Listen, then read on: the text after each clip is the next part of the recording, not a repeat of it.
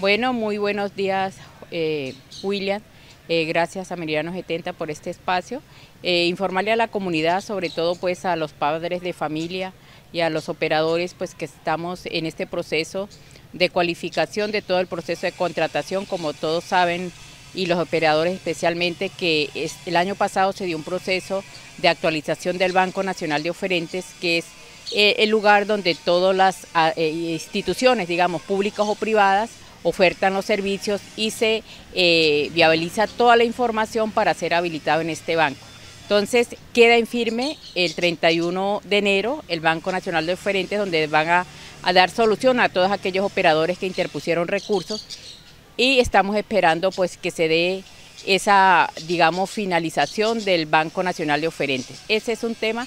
El segundo, pues estamos, estamos entre el 23 y 24 recibiendo orientaciones de la Dirección General en cuanto a alineamientos para el proceso de contratación de los nuevos, eh, digamos, instituciones que van a prestar los servicios al ICBF.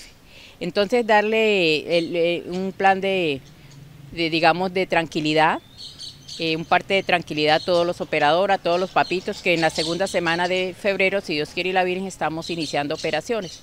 Entonces van a estar sus cupos. Importante informar a la comunidad que en atención pues a toda la problemática que hemos tenido con la población migrante, pues estamos a reventar de cupos. Tenemos una, digamos, una lista de espera de niños en primera infancia de 1.780 cupos que eh, estamos viendo y articulando con la gobernación, las alcaldías, y obviamente el gobierno nacional, cómo vamos a enfrentar esta situación para, eh, sobre todo, construir infraestructura adecuada para atender niños, niñas entre los 0 y 5 años, que es la política nacional de 0 a siempre.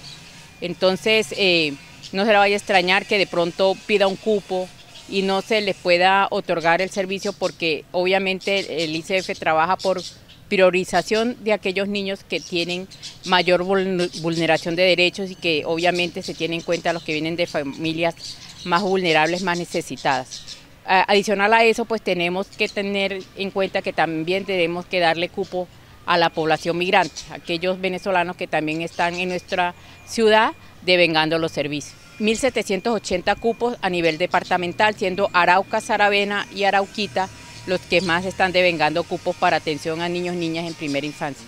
Nosotros tenemos un cupo, William, anual de 12 mil cupos a nivel departamental. Eh, ¿Qué estamos pidiendo? Pues obviamente ampliar cupos. ¿Qué nos dice el ICBF a la dirección de la Dirección General?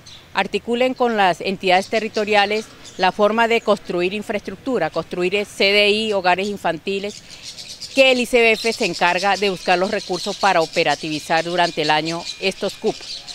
Nosotros a veces aperturamos CDI de 100 cupos, de 200 cupos, el máximo que es Carita Felice que tenemos con 300 cupos aquí en el, en el municipio de Arauca, pero sí es importante informar pues que el ICF no tiene recursos en estos momentos para construir. Necesitamos que cooperación internacional, como siempre nos ha venido apoyando en estos temas.